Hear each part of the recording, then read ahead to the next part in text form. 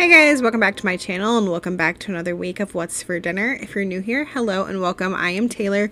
I'm a stay-at-home mom of two and I share these weekly What's for Dinner videos with you guys to motivate myself to cook more for my family and to hopefully motivate you guys to cook more for your family and to give you some dinner ideas. So if you like that kind of thing, I hope that you will subscribe down below so you can come back and see my future videos.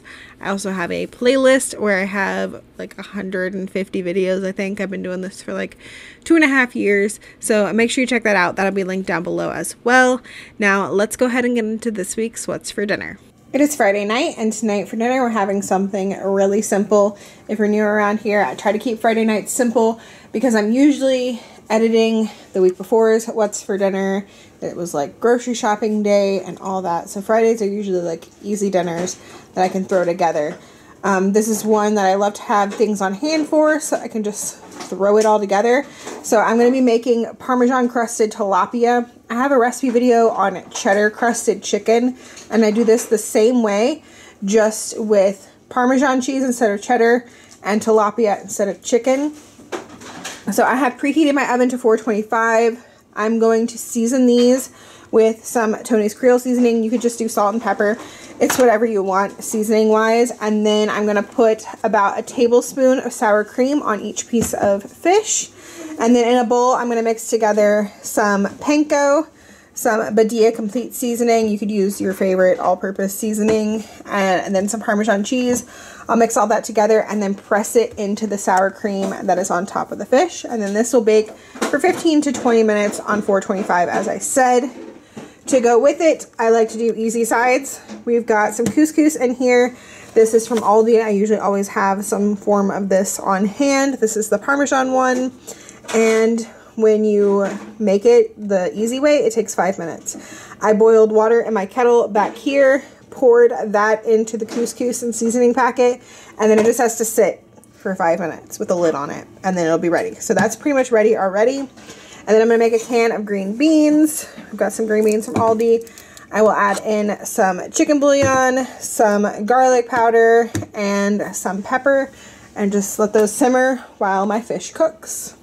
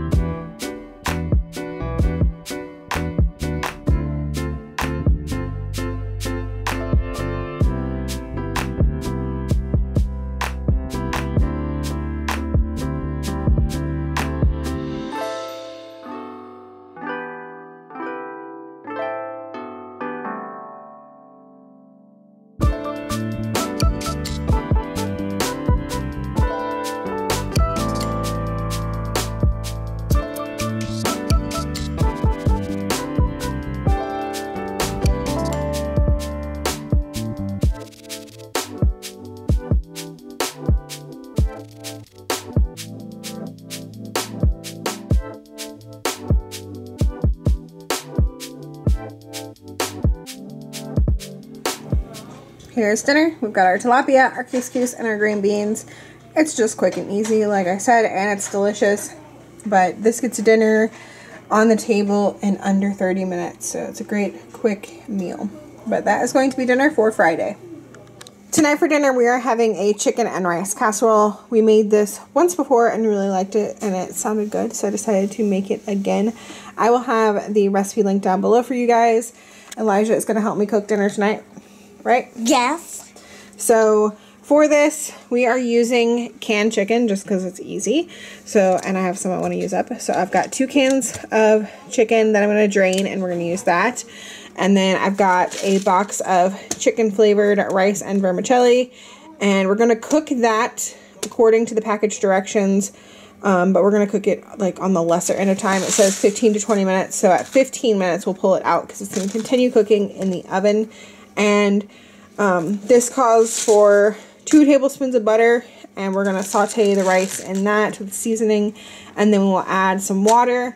And we're going to add in some carrots, celery, and onion to cook up with that and start it, give it a head start on getting soft. And then we've also got some cream of chicken and sour cream and cheddar cheese that we will put um, on all of it when it goes into the oven. But we're going to get started on chopping up our veggies and getting our rice cooked over here on the stove.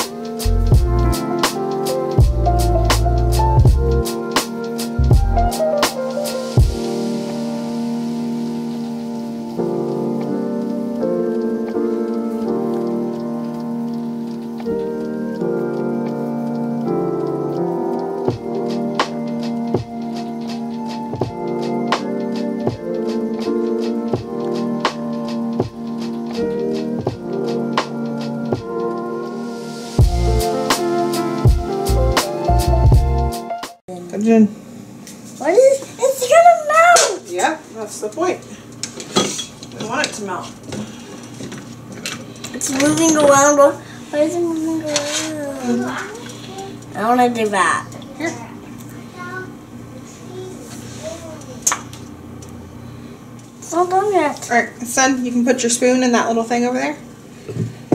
Dump in your rice. That's Dump it in. not all the way full. Dump it in. All right. Wa- Start. water white? The white is the rice. The this is the vermicelli, which is noodles. That's why I tell you sometimes it's rice and noodles. That's when it's that. You can stir it. So once all our veggies were cut up, we basically just followed the directions on the back of the box for the rice. So we melted two tablespoons of butter and then we toasted our rice and vermicelli mixture until it was a golden color. Then we added in our seasoning packet, our water, and our veggies, and we let that come to a boil.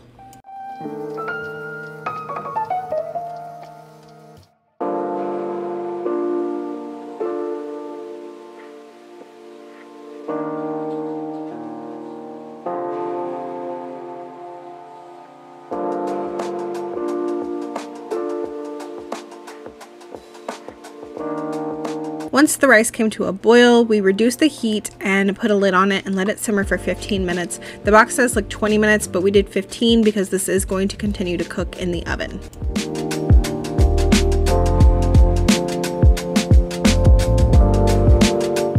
In a casserole dish, we combine that cooked rice mixture with our cans of chicken, our cream of chicken, and our sour cream. And then I also added in some pepper and some Tony's Creole seasoning.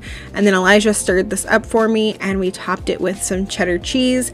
And then I baked this in the oven on 350 for 25 minutes. And then I broiled it on high for two minutes.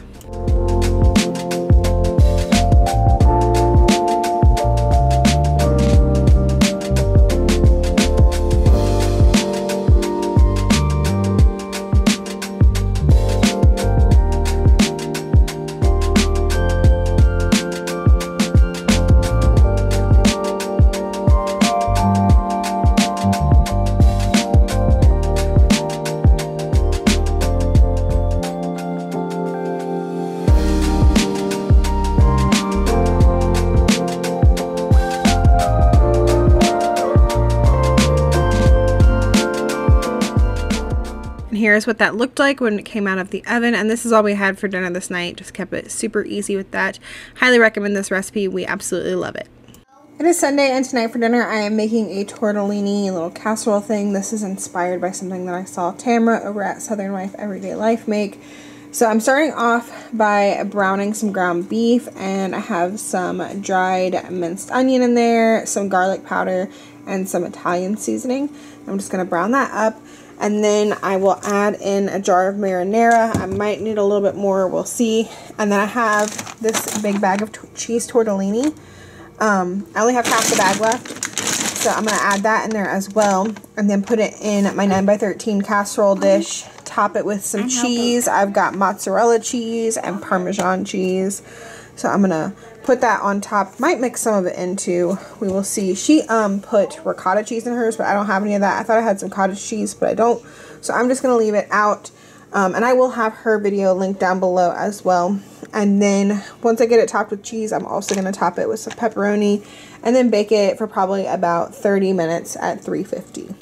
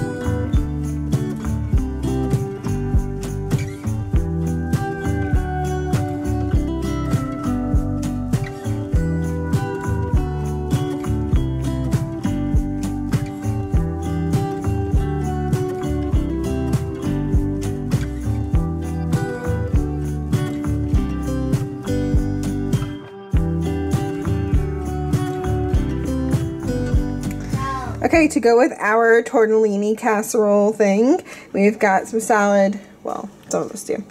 I have salad with ranch and tomatoes and cucumbers and a little bit of Parmesan cheese and the everything but the bagel seasoning. Andy has lettuce, tomato, Parmesan cheese, and then he has the Aldi version of the Olive Garden Italian dressing. And then Lily has peppers, tomatoes, and cucumbers. And Elijah has salad with the Olive Garden dressing, cucumbers, Parmesan cheese, and then he has everything but the bagel seasoning as well. And that is going to be dinner for Sunday.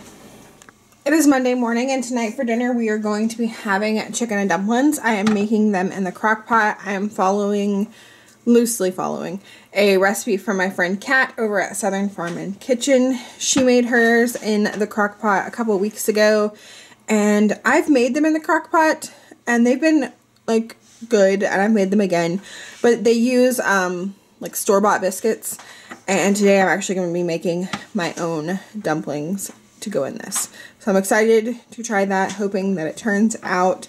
So in here I have two small chicken thighs in the bottom and then two small breasts in the top. I wanted light and dark meat, so that's why I did that. And all of it's frozen, but it will cook. I'm going to put this on high and it'll cook for a couple of hours and be done. I'm going to top this with some broth. In this, I have four cups of water that I mixed with eight teaspoons of the Knorr chicken bouillon. And then I'm just going to do another four cups of water I just made that like super concentrated because I heated that water in my kettle.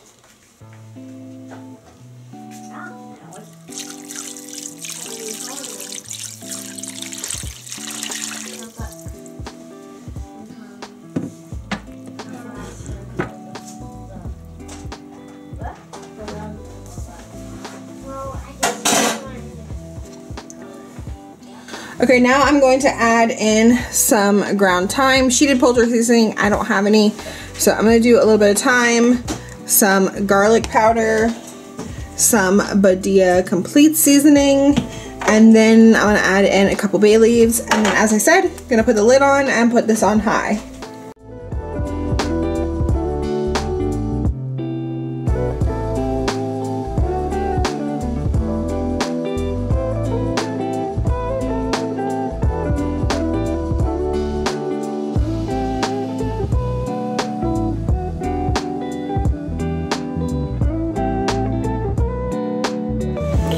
Okay, my chicken has been cooking for hours. Kat said like four hours. It's definitely been longer than that for me. Chicken is definitely done.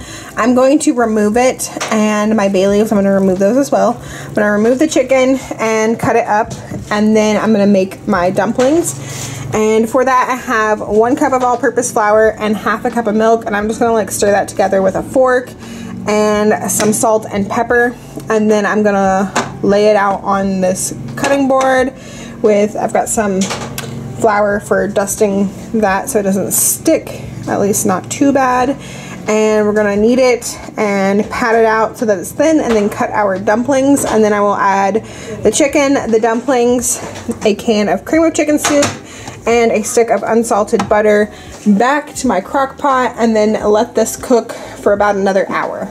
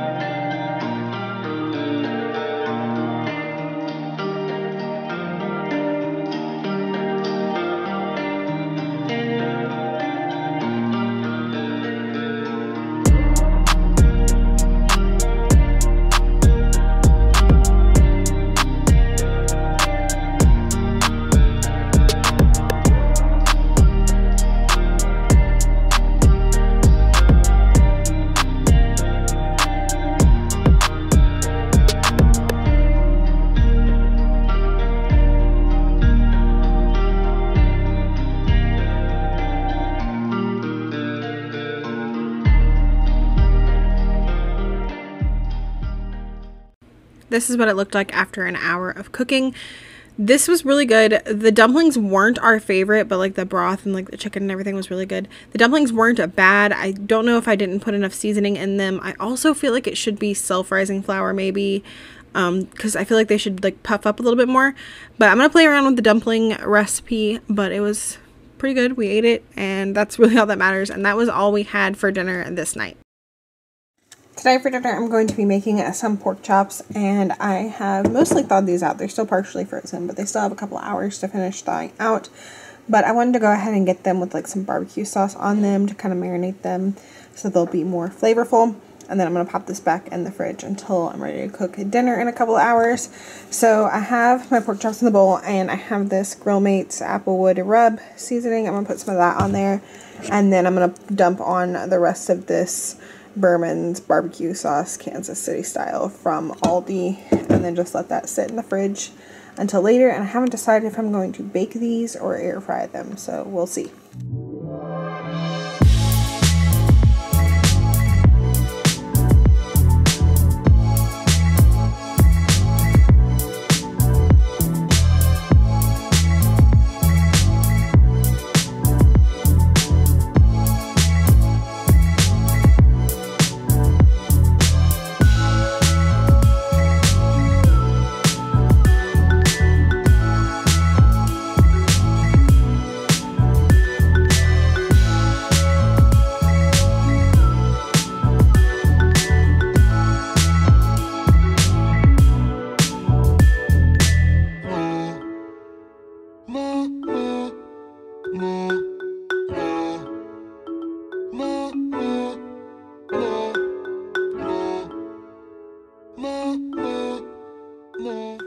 It's time to get started on dinner. I pulled my pork chops out of the fridge. I am going to bake them, is what I decided, because I already decided I was going to turn on the oven to roast some potatoes. So I pulled out six potatoes. I'm, I already washed them. I'm going to cut them up and drizzle them with some olive oil. And I'm finally using this Badia ranch seasoning. So I'm going to do some of that and then just some of the Badia complete seasoning and then just roast them. I've got my oven on 425 and this will probably take like 30 to 35 minutes. So I'm going to go ahead and get those in there and give them a head start. I've got one pan lined with parchment for that, and then I've got another pan lined, lined with parchment for the pork chops. And I'm going to get the potatoes started and then throw in the pork chops towards the end, probably like the last like 15 20 minutes is how long I think the pork chops will take because they're pretty thin.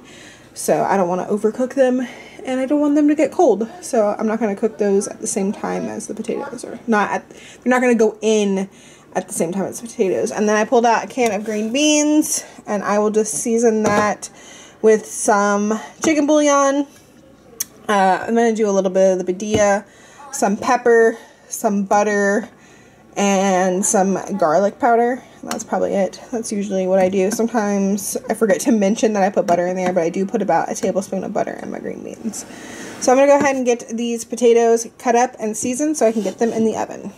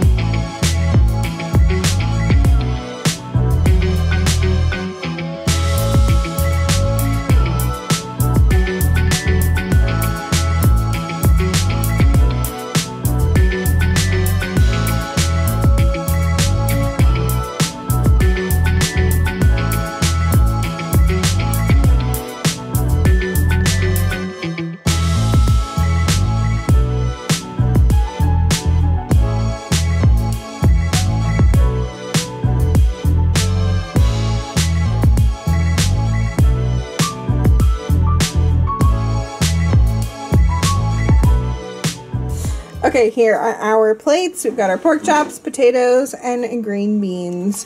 That one's Andy's. That one's mine. These are the kids. I went ahead and cut up their pork chops. Andy said he's going to eat his on a sandwich, which would just be bread. I don't know if he's actually going to do that or if he's just saying that.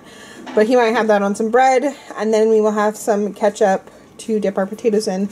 But that is going to be dinner for Tuesday. On Wednesday night, I made cowboy beans. This is a recipe that I originally got from my friend Jess over at Jess and the Boys. I've made it quite a few times, and I will have the link to her video down below as well. I started off by cutting up half of a pack of bacon into little pieces, like kind of like diced it up. I used my kitchen scissors to do this because I find it easy, and I just cooked that up until it was nice and crispy.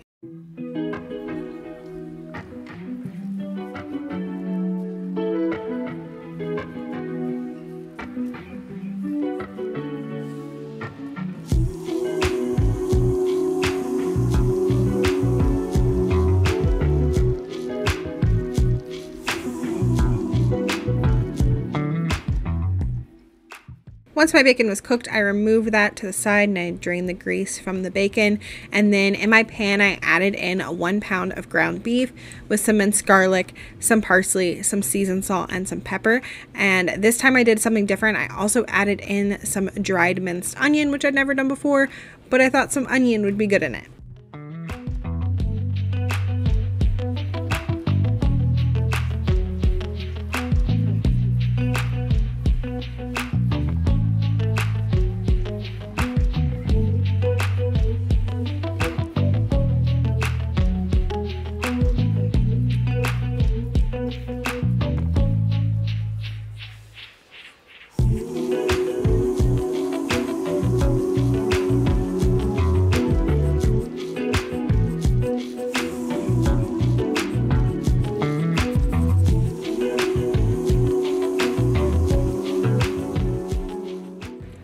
Once the ground beef was browned, I began to add in the rest of my ingredients. I added in some pork and beans. Usually it's two of the like 15 ounce cans, but I had one 15 ounce can and then two of like the smaller like 8 ounce cans. So I added in all that. And then I also had some baked beans left over in the fridge. So I added those in as well because I just wanted to use them up and not let them go to waste. And then usually I would add in brown sugar, but since I added in those baked beans and they have a sweetness, I just skip the brown sugar this time. I added in some Worcestershire, some mustard, some ketchup, some sriracha, and I just let that simmer for a little bit, covered with a lid. And all of the measurements for all of this will be listed down below for you guys.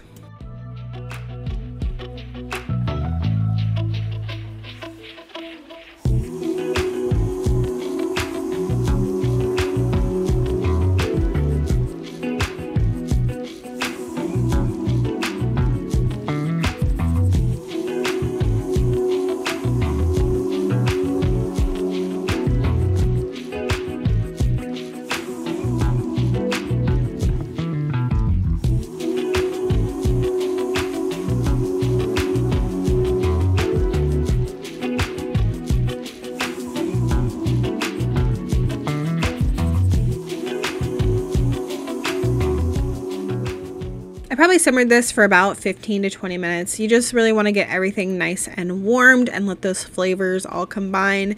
And then I like to top this with some cheddar cheese. You could do any kind of cheese you like. And I think Jess likes to use American cheese. We just prefer cheddar. It's our favorite and we always have a bunch of cheddar on hand. So I topped it with that and then I put the lid on to let that cheese melt.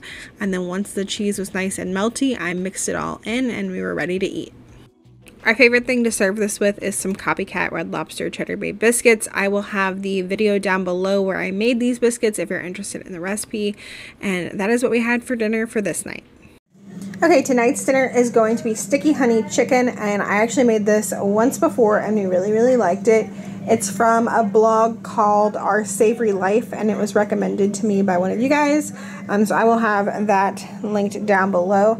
So I have started off by cutting up into like bite-sized pieces some chicken. And these were actually chicken tenderloins but you could use chicken breasts or even chicken thighs. Last time i made it the recipe says to just cook it whole and then shred it. But while we were eating it we were like we thought it would be better like just in bite-sized pieces not shredded. So this is what i decided to do this time is just cut it up.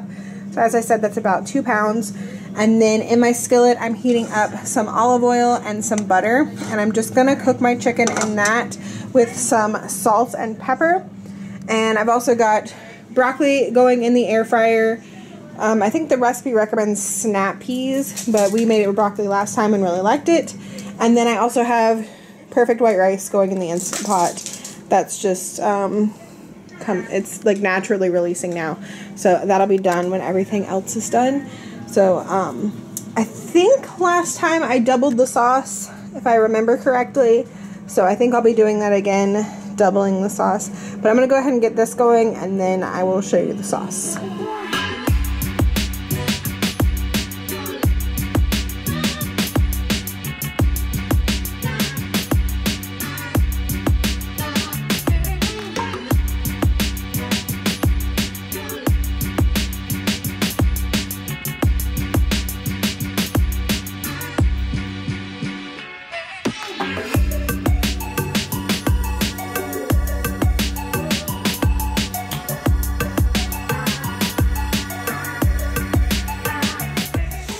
As I said, I am doubling the recipe, so I'm going to do six tablespoons of soy sauce, two thirds of a cup of honey, six tablespoons of tomato sauce, six uh, teaspoons of minced garlic, and two teaspoons of sriracha. I'm just going to get that mixed together in this bowl.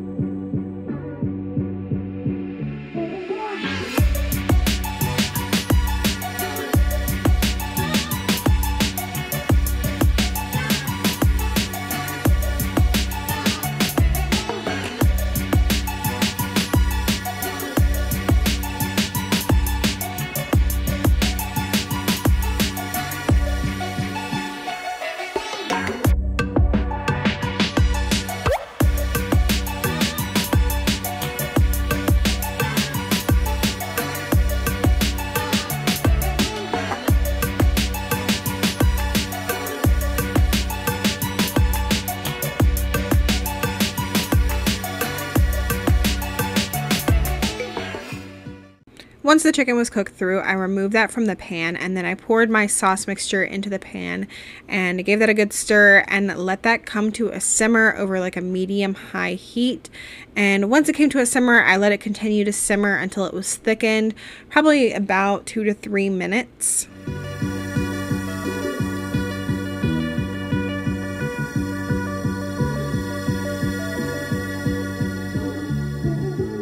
Then I reduced the heat to low and I stirred in my broccoli and my chicken and I just let everything get nice and coated with the sauce and I let that simmer for probably about another five minutes over low so that it could get nice and flavorful.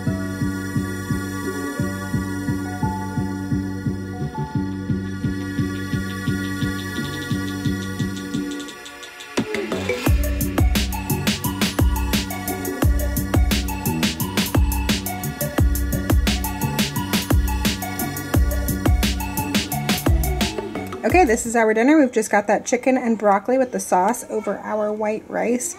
And if you make this, I highly recommend doubling the sauce because you just have like all that yummy sauce to go on your white rice and flavor it. We love this. Highly recommend trying it. That is going to be dinner for Thursday. And that is going to wrap up another week of What's for Dinner. I hope that you guys are liking these longer videos. The past two weeks have been over 30 minutes long, which is crazy to me. Um, but if you're liking them, make sure you leave me a thumbs up. Comment down below if you're going to try any of these recipes. As always, thank you guys so much for watching, and I will see y'all on the next one. Bye!